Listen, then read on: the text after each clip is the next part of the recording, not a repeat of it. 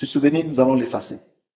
Nous allons l'effacer et c'est le, c'est, le challenge que nous avons donné aux, aux, aux techniciens, aux experts qui sont arrivés et qui ont sorti le matériel lourd que vous avez constaté pour corriger ce dysfonctionnement parce que nous devons vaincre aussi la nature si elle fait des caprices.